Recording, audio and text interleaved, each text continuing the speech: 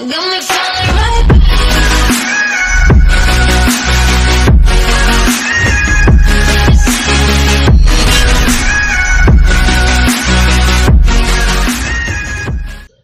everyone, my name is Vic of EOS Market Biz and in this video I am going to share to you the updates on the newsletter that you're going to receive once you subscribe at preferredcurrency.news. So without further ado, let's go to the um, website. So this is the website where you subscribe for $15 a month or $180 a year. Okay, so you can also pay using um, cryptocurrency um, for subscribing here at this website. So just click Coinbase or the Coinbase logo here. And also, uh, if you want to pay fiat, you can click PayPal, right? So let's go to the newsletter. So here's the newsletter. Um, um, the, the subscribers received um, some hours ago so there's uh, here's the headlines uh, right? So I'm going to discuss each headlines. Okay. So let's open it so that it will save us time. Okay so NEM price climbs to 9-week high as CoinCheck brings back trading.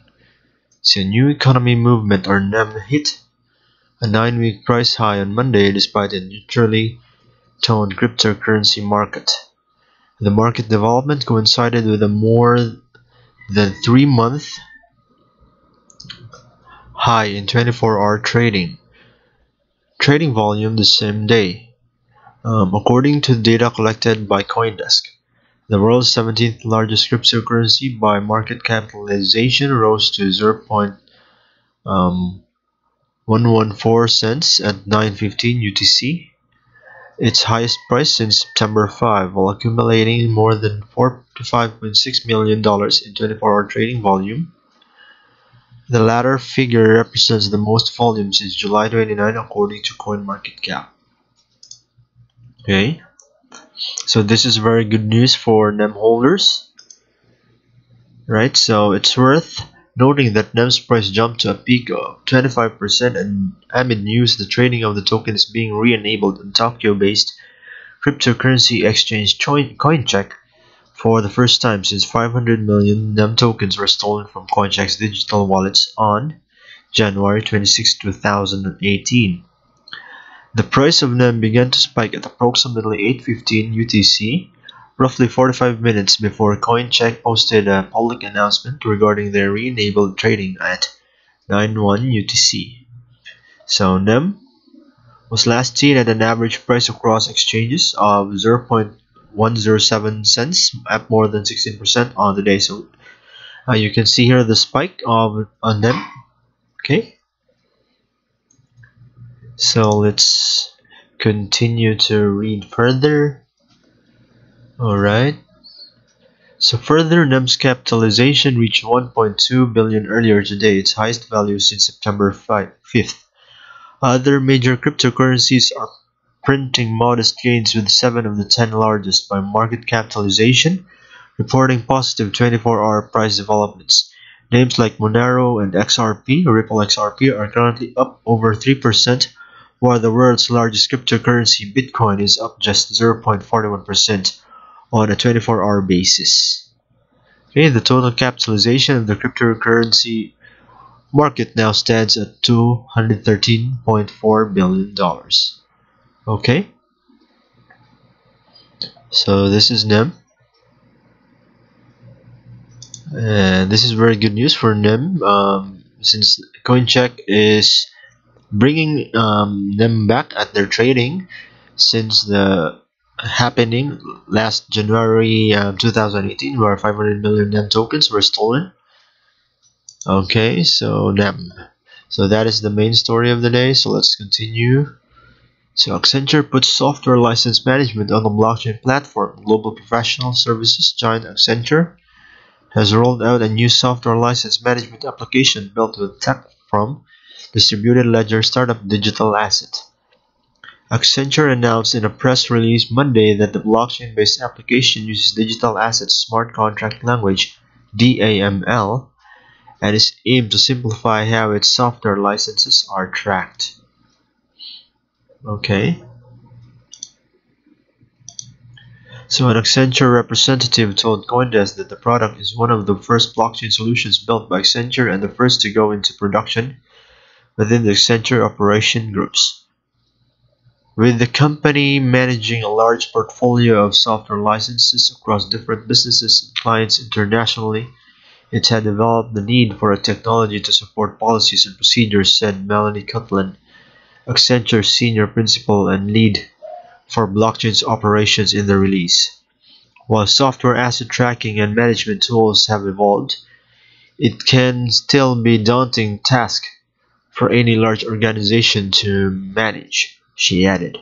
The new blockchain-based application is expected to help Accenture improve the management life cycle for its software assets, as well as simplifying tracking and auditing, the release states. Cutlin explained, the power of DLT will simplify the traceability of these licenses and therefore the auditing function, so all can see where each license is assigned. This has the potential to save organizations millions of dollars per year in the management of their software portfolios. Okay, so let's read further. So the new application, uh, which Accenture said is patent pending, will effectively allow organizations to reduce the risk of using unlicensed software or failing to comply with license use terms. It is also expected to ensure better transparency regarding the distribution and utilization of licenses, according to their release. This new software asset management application shows that DAML and DLT can deliver significant operational efficiencies to use cases beyond financial services according to Chris Church, Chief Business Development Officer at Digital Asset. Okay, so that is the second um, main story of the day. Um, the last update or the last uh, new news headlines for today is commodities firms complete blockchain pilot for Black Sea wheat. Swiss-based Transol International and Solaris Commodities have conducted a blockchain pilot transactions of Black Sea, Black sea wheat S&P Global reports November 12. Both companies are involved in the trading of international agricultural commodities like milling wheat, vegetable oil, and flour. The two firms completed the pilot using the blockchain-based agri-commodities trading and financing platform of Swiss startup Cerealia. Okay. So an independent auditor has reviewed all the important details of the trade from the blockchain and validated the smart contract digital signatures. Signed document and timestamps. The auditor has also confirmed the data has been encrypted, that no other data has been stored, and that all data is up to date. The agricultural and food products sector has been gradually embracing blockchain around the world as Cointelegraph previously reported, the world's four largest agriculture companies, commonly known as ABCD, partnered to digitize international grain trading by using blockchain and artificial intelligence AI technologies. Blockchain and AI will be initially used to automate grain and oilseed post-trade execution processes, which are highly manual and costly part of the supply chain.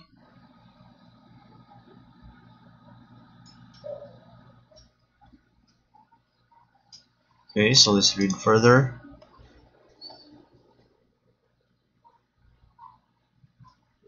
In September, a U.S. National Milk Marketing Cooperative, Dairy Farmers of America or DFA, teamed up with food fintech startup Ripe.io to pilot a blockchain-powered project also aimed at improving the food supply food supply chain. DFA reportedly intends to assess the technology and explore how the organization can benefit from its use.